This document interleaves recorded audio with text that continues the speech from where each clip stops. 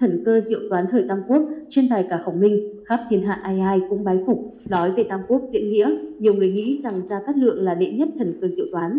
Tuy nhiên, trên thực tế, danh hiệu này lại thuộc về một khác với khả năng tinh thông bát quái, phản đâu trong đó, khắp thiên hạ ai ai cũng bái phục. Quản lộ, tự công minh, là người quận Bình Nguyên nước Ngụy, trong Tam Quốc diễn nghĩa, hồi thứ 69, tài năng của Quản lộ được quan thái sử hứa chi miêu tả cụ thể thông qua một vài câu chuyện có thật về ông. một Gieo quẻ tìm châu, vào giai đoạn quả lộ còn trẻ, một bà lão trong xóm bị mất trâu đã nhờ ông xem bói. Chỉ trong ít phút, ông liền chỉ rõ địa điểm trâu bị bắt, bên con sông nhỏ ở phía bắc nhà của bà, có 7 người đang làm thịt con trâu của bà, sắp chín rồi.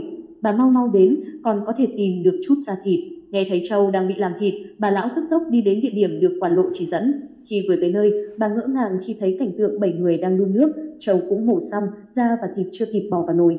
Quá bức xúc trước sự việc trên, bà lão liền kiện lên thái thú ở nơi đó là Lưu Vân đề nghị bắt giữ bảy người này.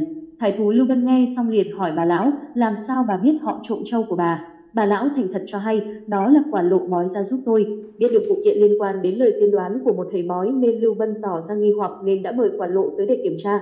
Theo đó, Lưu Vân bỏ cái túi đựng, con dấu và lông gà rừng vào trong một chiếc hộp và yêu cầu quả lộ đoán xem trong hộp có gì. Trong tích tắc, quả lộ đã có câu trả lời rằng một cái bên trong thì vuông, bên ngoài thì tròn, nét chữ năm màu, có ngọc phủ tím, xuất tác hữu trương. Đây là cái túi được một con dấu, còn cái kia, mỏm núi đá cao, có con chim bình đỏ, cánh đen vàng, kiều báo bình minh, không còn nghi ngờ gì nữa, đó là lông gà rừng. Trước đáp án chính xác của quả lộ, Lưu Bân vô cùng sửng sốt, liền tiếp đãi quả lộ như một vị thượng khách. Sau đó, vụ kiện của bà lão cũng được thông qua, bảy tên trộm châu bị xử lý nghiêm ngặt.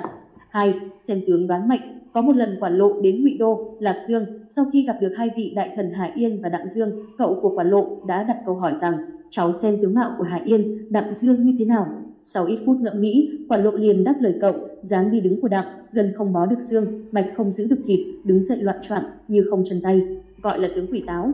Vẻ hỏi han của Hà, hồn không giữ được nhà, máu không còn tươi màu, tinh thần vật vờ, dáng như củi khô, gọi là tướng quỷ u. Nên quỷ táo bị gió bắt, quỷ u bị lửa thiêu là điểm báo tự nhiên, không thể che được. Mười ngày sau, cậu quản lộ hết sức kinh ngạc khi nghe tin Hạ Yên và Đặng Dương đã bị giết đúng như những gì cháu mình đã tiên đoán. 3. Đoán trước vận mệnh của bản thân Vào một ngày năm chính nguyên thứ hai năm 255 SN, quản lộ đến nhà người em tên quản thần Thường trà trong lúc nói chuyện, Quản Thần đã dự đoán về tương lai của Quản Lộ rằng em thấy đại tướng Tư Mã chiêu đối xử với anh rất tốt, sau này anh có thể đại phú đại quý. Nghe xong, Quản Lộ buồn rầu đáp, chào ôi, thiên thượng ban cho ta tài trí, nhưng không cho trường thọ. E rằng tới 47,48 tuổi, không kịp đợi con trai, con gái dựng vợ, cả chồng, ta đã ra đi rồi. Quản Thần thắc mắc tại sao lại như thế. Quản Lộ từ tốn giải thích nguyên nhân bản thân không thể trường thọ, trên chắn ta không có cốt trường thọ, mắt vô thần, mũi không thẳng, dưới chân không gót, lưng không dày, bụng không tròn. Đó đều là dấu hiệu của không trường thọ. Lại thêm bản mệnh của ta vào năm dần, còn xanh vào đêm nguyệt thực, thiên mệnh vận hành tự có quy luật, không thể tránh khỏi, chỉ là người ta không biết đạo lý đó mà thôi. Cả đời ta đã bói toán cho hàng trăm người, hầu như đều không sai đâu. Điều đáng nói, đúng là tới tháng 2 âm lịch năm sau, quản lộ mất, hưởng thọ 48 tuổi khiến quản thần cùng anh em trong dòng tộc không khỏi ngỡ ngàng vì ông đã dự đoán chính xác từng chút về vận mệnh bản thân, 4. Tào Tháo hết sức kính phục. Nghe danh của quản lộ đã lâu nên Tào Tháo liền cho người gọi ông đến đoán bệnh. Khi đến nơi, quản lộ liền gieo quẻ để xem tình hình sức khỏe của Tào Tháo.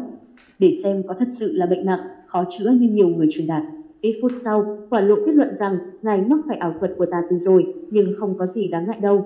Trước lời tiên đoán của quản lộ, Tháo thở một hơi dài khoan khoái như vừa chút xong một gánh nặng. Không chỉ thế, Tào Tháo còn nhờ quản lộ bói một quẻ để xem việc thiên hạ. Kết quả, quản lộ cho hay ba tám tung hoành, heo vàng gặp hổ. Định quân hướng nam, đả thương một chân. Tào Tháo lại hỏi về chuyện người thừa kế sau này của mình, quản lộ tiên đoán, sư tử trong cung, dẹp ăn thần vị. Vương đạo cách tân, tử tôn cực quý. Do chưa hiểu hết ý nên Tào Tháo yêu cầu được nói rõ hơn, quản lộ trả lời, mình mông số trời, không thể báo trước, tự mình trải nghiệm. Một thời gian sau, khi khi đại tướng quân Hạ Hầu Uyên, huynh đệ trong tộc của Tào Tháo chết trên đỉnh định quân, ông mới ngộ ra lời quản lộ nói, Bà Tám tung hoành chính là Kiến An 24 năm, theo vàng gặp hổ cũng chính là tháng đầu tiên của kỳ hợi, định quân hướng Nam là núi định quân ở phía Nam, còn đạt hương một chân nhằm muốn nói tình cảm huynh đệ của Hạ và Tào. Sau đó, con trai của Tào Tháo, Tào Phi xưng đế, cũng đúng như lời quản lộ từng tiên đoán là sư tử trong cung, dẹp ăn thần vị. Cảm ơn các bạn đã xem hết tin. Chúc các bạn một ngày vui vẻ hạnh phúc. Đừng quên đăng ký kênh để cập nhật những thông tin mới nhất. Xin chào và hẹn gặp lại.